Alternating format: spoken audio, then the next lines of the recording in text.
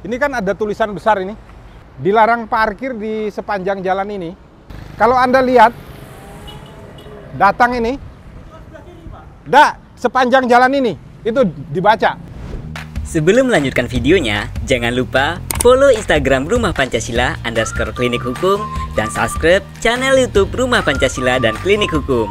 Selamat menyaksikan, semoga bermanfaat.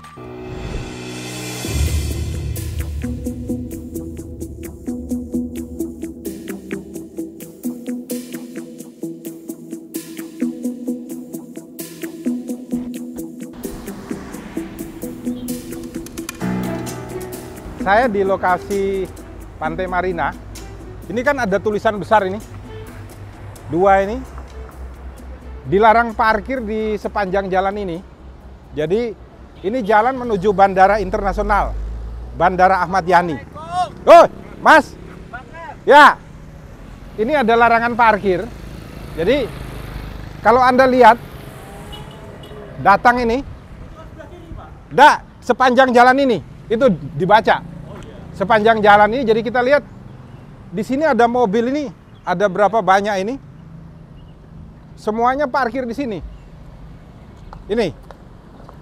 Nah, berdasarkan undang-undang lalu lintas, ini mereka bisa kena 500 ribu. Belum lagi kalau ada orang yang naik mobil atau motor kemudian nabrak meninggal, mereka masuk penjara yang parkir di sini nih.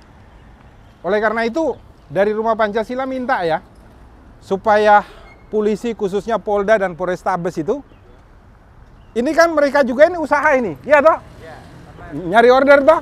Nah, dicarikan tempat umpamanya parkirnya dalam situ kan bisa itu loh. Tapi ini larangan karena nanti jenengan-jenengan yang semuanya kena di sini. Sepanjang jalan ini, jadi bukan kiri atau kanan. Jadi Pak Dirlantas ya, Polda Jateng ini buat kebaikan semua dan juga contoh karena ini adalah bandara internasional, tempatnya orang Semarang, memberikan contoh yang baik. Semoga bapak-bapak ini juga setelah ini segera pindah. Tolong nanti kalau ada yang celaka di sini jenengan juga kena. Gitu.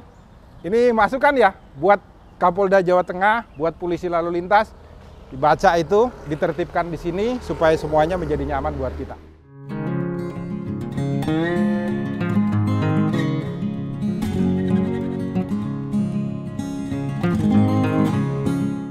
Itu tadi kita sudah lihat ya di jalan bandara menuju Bandara Ahmad Yani di Kota Semarang ini bandara internasional. Itu ada larangan parkir sepanjang jalan itu.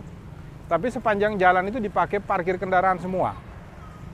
Itu bahaya karena kalau pas situasi kondisi jalannya ramai, kemudian ada orang yang kecelakaan saja nabrak mobilnya itu, maka sebenarnya mereka yang parkir-parkir di situ itu yang bertanggung jawab. Kalau orangnya meninggal, mereka kena pasal 311 itu. Menyebab, akibat kelalaiannya menyebabkan orang lain meninggal dunia. Kalau motornya rusak, mobilnya rusak pun, itu mereka kena. Jadi bahaya bagi mereka yang parkir-parkir mobil itu sepanjang jalan itu. Ini harus ditertibkan oleh kepolisian, khususnya Polda Jawa Tengah ya, melalui Dirlantasnya ya, atau Iya, di lantas untuk melakukan penertiban gitu sehingga kita ini taat gitu loh. Semua orang akan menikmati jalan yang baik ya, jalan yang nyaman dan sekaligus juga tidak akan merugikan semua pihak. Ini penting sekali bagi kita untuk ditegakkan ya supaya ke depan tidak lagi. Jadi kota Semarang ini jadi bagus itu lihat pada parkir semua padahal di situ itu larangan parkir itu. Karena ini kan perputaran kendaraan sebenarnya. Tidak boleh juga arahnya ke sana itu.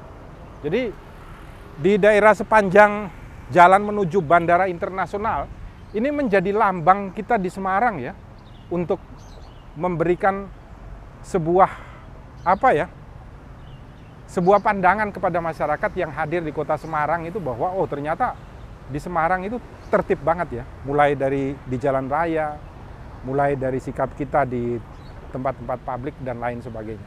Semoga Polda Jawa Tengah melalui Dirlantasnya segera melakukan penertiban ya di daerah menuju Bandara Internasional Ahmad Yani. Terima kasih, salam Pancasila dan salam penegakan hukum. Jangan lupa selalu buka mata, buka telinga, buka hati, berbuat baik di rumah Indonesia. Menerangi jiwa hatiku, melapas